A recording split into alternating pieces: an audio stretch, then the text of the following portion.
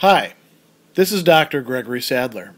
I'm a professor of philosophy and the president and founder of an educational consulting company called Reason.io, where we put philosophy into practice.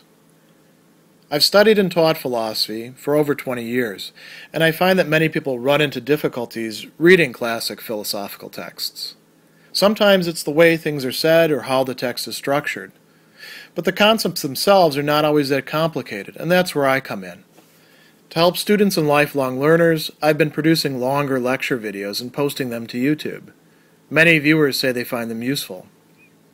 What you're currently watching is part of a new series of shorter videos, each of them focused on one core concept from an important philosophical text. I hope you find it useful as well. In his work, The Poetics, Aristotle is going to define tragedy for us. And in that definition, there's kind of an interesting clause, a part of that definition, which has to do with the function of tragedy, how it works upon us as spectators or as people who are uh, experiencing it, the effects of seeing a play enacted on a stage with actors and all of that. And what does Aristotle actually tell us about this? It has to do with our emotions, but not all of our emotions. He does talk about other emotions besides these two, but the two that he is particularly interested in are fear, phobos in Greek, and pity, eleos in Greek. And he tells us that tragedy part of what, what it is, part of what it does, its essence, is that through fear and pity, and the word through there is D, so, you know, by the means of or through, it accomplishes purification, is usually how we translate this, catharsis of those very emotions, of those pathe, those things that we experience, right? That, that then affectively drive us and uh, induce us to not just feeling, but sometimes thinking and acting. And purification here, Aristotle doesn't really explain what this is, but you know, some people thought, well, it helps to empty us. It's a purgation of these emotions. Quite literally, it means like a cleaning. So perhaps it purifies those emotions. We'll leave that aside for the moment. And then we want to ask, and Aristotle answers this at many different points in the Poetics. Okay, so through fear and pity, how are these produced within a dramatic production, a tragedy? And the first thing that he talks about is what we translate as uh, joint, so in relation to each other, uh, recognition, anagnorisis, right? And reversal, peripeteia, literally like changing uh, round, uh, falling, right? And so recognition is having known something before, but you know, then it being you, being ignorant of it because of the circumstances, and suddenly you you understand how things go. So, for example, when a character who you think is your enemy is suddenly revealed to be your long lost friend, okay, well, there's a recognition. Or worse off, when uh, Oedipus finds out that he is the man who has caused the plague on the city of Thebes by killing his own father and marrying his own mother. Ooh, that's terrible, and that's also a, a reversal as well. So these cause, as Aristotle is going to say, um, pity and fear when they're, they're done well. A joint recognition and reversal will yield either pity or fear, right? Depending on what the circumstances are. And we'll get into that in a bit. Why would it do one rather than the other? We go on a little bit further and we find that um, Aristotle is actually going to talk about two different things in a passage about how we produce these uh, sorts of things. Um, how do we generate um, the, the stuff? Well, the structure, the sustasis. This is the plot, right? And recognition and reversal are also part of the plot, the muthos, the most important element of tragedy. So the sustasis of events he is going to tell us um, is part of how we grasp the, these matters. And he talks about hearing events that happen without even seeing the play can arouse pity and fear in us. Now, what's he talking about there? We would actually say reading, because in ancient times, um, when somebody would read, they would read aloud, and they would often read aloud to other people. And so you would hear the play being read by somebody, right? But we would read it uh, with our eyes in our own time. So, you know, the way in which the plot is structured can help to produce these emotions in the you know the, the right kind of person. Some people are impervious to this sort of thing. And in that section aristotle is actually going to talk about um, not just the plot or the structure of events but he's actually going to talk about um, spectacle opsis, which is one of the elements of tragedy, but Aristotle considers it to be the, the one that's the sixth of six in importance, right? And actually kind of kind of falling outside of the poet's work. It's more something that another person would do, and he actually tells us that it has little to do with the poet's art and it requires material resources right? Um, so it's, it's not quite as involved. Um, and he says, those who use spectacle to create an effect, uh, not only of the fearful, the things that strike fear into us, but also, we could say, of the uh, sensational or the monstrous, to teratodes, right? Um, so this, he thinks, it can work, right? You can have a scary mask, right? You can um, make scary music to go along with it, or the, the stage could be all dark or something. You're down in Hades.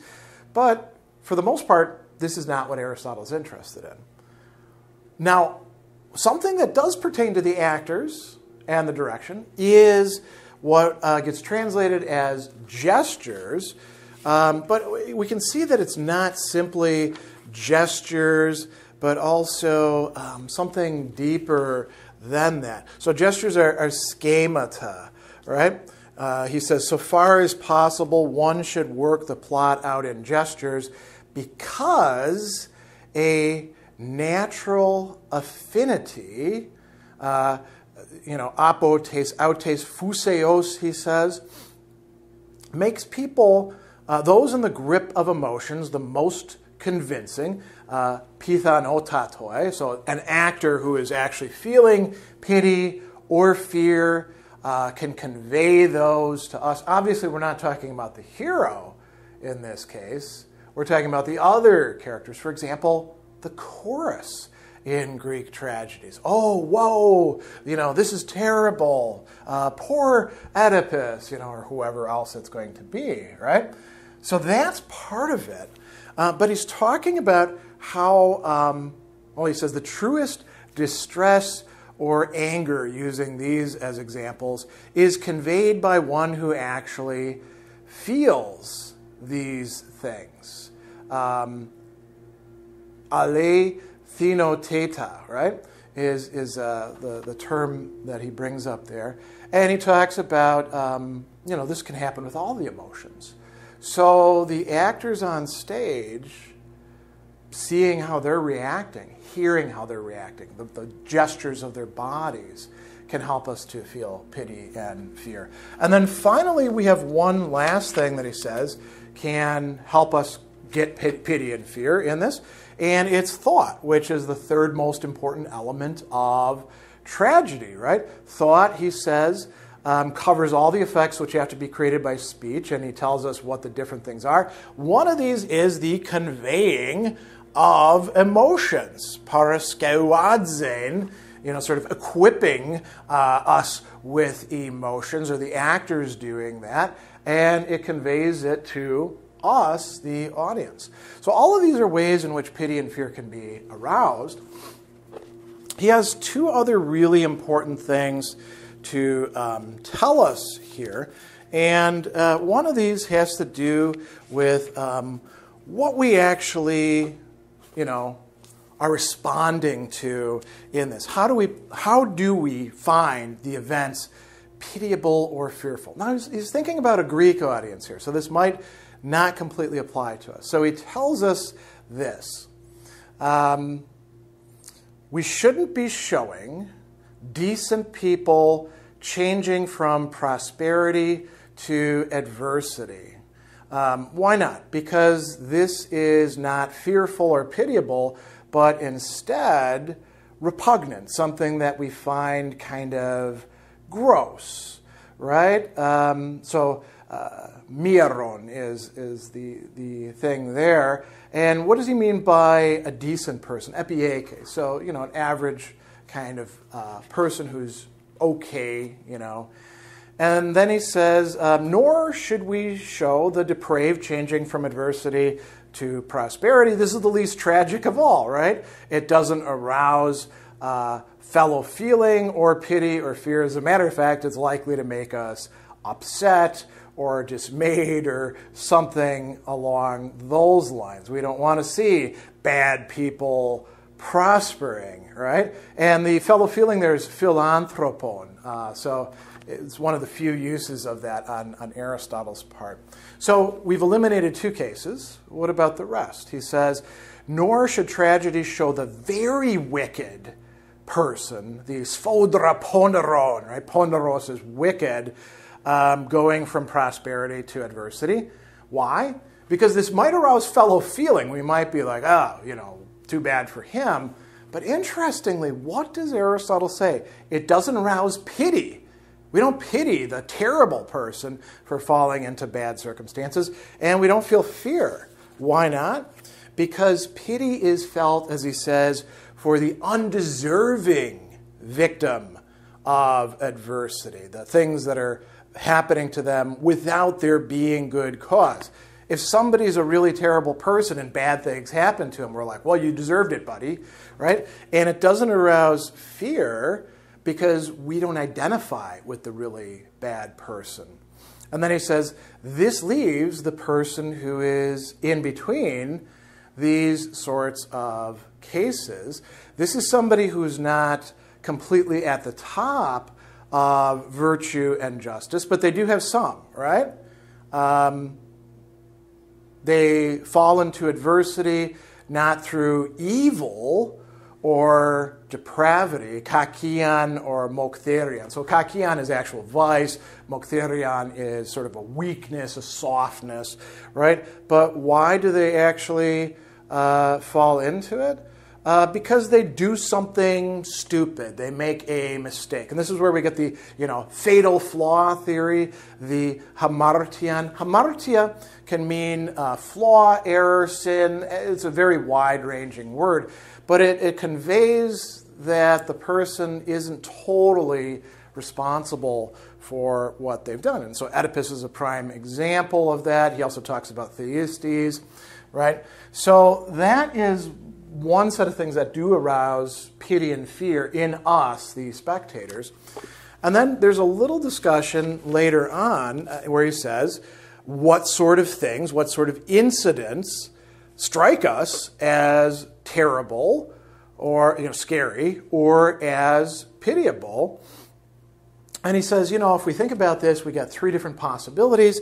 These can occur between people who are connected by friendship of some sort, relationships, philia, or it could be enemies, right?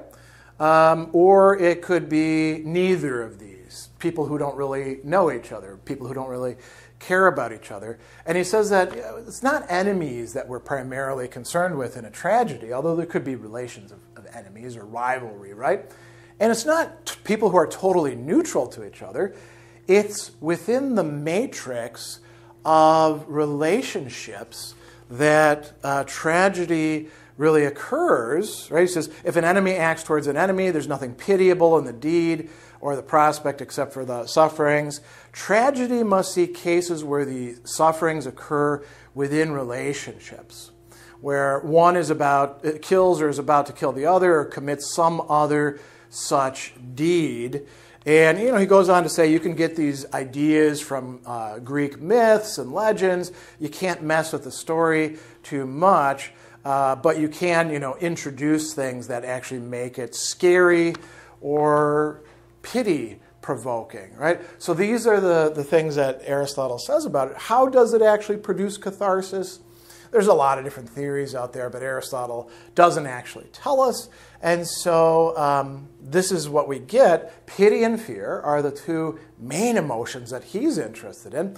We might widen this and think about how are other emotions involved in these plots, in, in the way the actors act, in the, the spectacle, in the um, language that is being used, the thought, right?